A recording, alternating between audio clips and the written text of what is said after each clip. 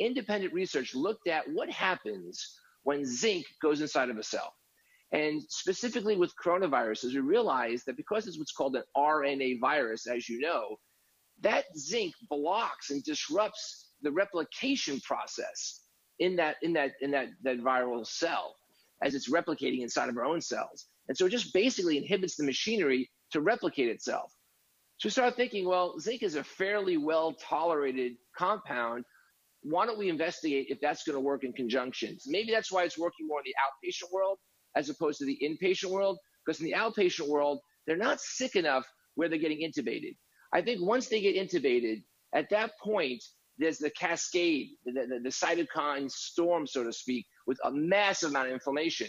We're trying to get that, that, that this molecule into the body before that happens.